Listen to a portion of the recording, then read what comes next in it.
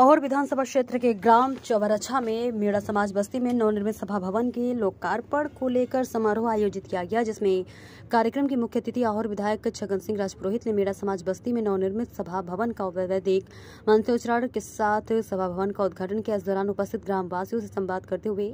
गाँव की समस्याओं को लेकर जनसुनवाई भी की इस दौरान स्थानीय सरपंच मोहन सिंह राजपुरोहित उप सरपंच नरपत सिंह जुजाराम देवासी सिद्धनाथ ललित मेड़ा भरत नरपत देवासी सहित भीड़ समाज के गणमान्य लोग एवं ग्रामवासी मौजूद रहे